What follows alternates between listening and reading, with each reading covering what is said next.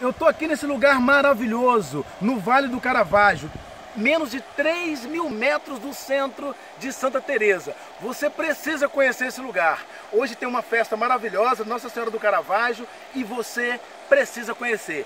Venha comigo para contemplar este lugar maravilhoso e eu vou dizer para você, vai se apaixonar. Lá do alto você tem a vista da cidade de Colatina, que eu não poderia deixar de falar, e aqui em Santa Teresa, bem pertinho de você, esse aconchego que você precisa conhecer.